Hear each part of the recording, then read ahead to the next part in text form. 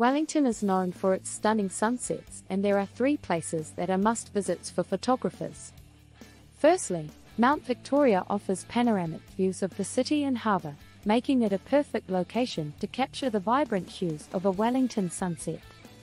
Secondly, the Wellington waterfront provides a picturesque background with its iconic red sheds and calm waters.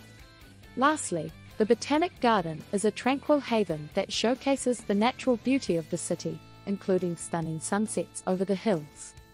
So pack your camera, head to one of these breathtaking locations, and capture the magic of Wellington sunsets.